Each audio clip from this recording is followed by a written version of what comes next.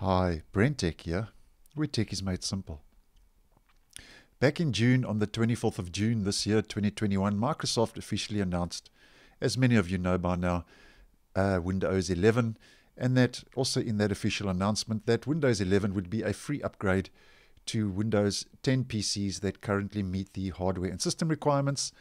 And then they um, released the PC Health Check uh, tool an app that you know you could use to check whether your PC was eligible uh, for Windows 11 or not. And then they did release one or two versions of the PC Health Check app, which I did feature on this channel. But due to user reports and feedback, Microsoft withdrew the app um, to obviously improve the app because a lot of users were saying that it didn't give enough reason and information regarding why their PC couldn't or could be upgraded to Windows 11. Now, in August, Microsoft um, did update the PC Health Check app and they rolled it out to the insiders in the Windows Insider channel. And now, recently, uh, this PC Health Check app again has become uh, generally available to the public again to all users. So, this is the new PC Health Check app. It looks very similar to the previous version. And if you go check now, it'll just give you a lot more information. Now, as mentioned in other videos, my PC, this PC doesn't meet those hardware requirements. And it says this PC doesn't currently meet the Windows 11 system requirements. But now you see it gives you a lot more information. So clearly TPM2 must be supported and enabled on this PC.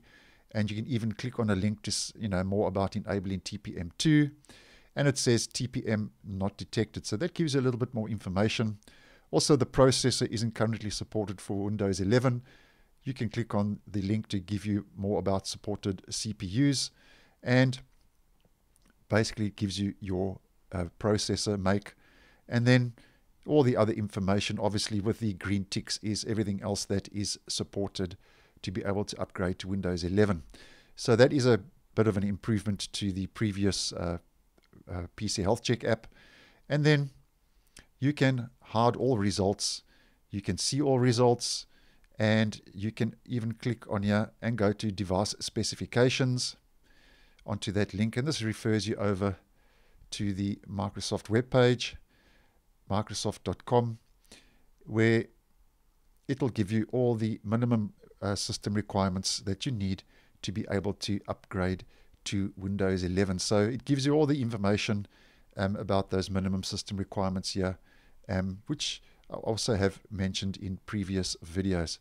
So I just wanted to let you know the new PC Health Check app is out, and I will leave a link down below where you can go and download it. And once you've downloaded it, you just go to your download location, double click on the uh, downloaded file, the exe file, and just run it, follow the prompts, install it. And if you have PC, the old PC Health Check app still installed on your system, this one will just overwrite uh, that old version and update it to this latest version, which, by the way, is, if we click on About, the latest version is version 3021091400-S2. So the new PC Health Check app is out although it's not going to make your PC be able to upgrade to Windows 11 if it can't, it'll just give you a little bit more information on maybe why you don't meet those system requirements. So I hope you found this video useful. Once again, thanks for watching, and I will see you in the next one.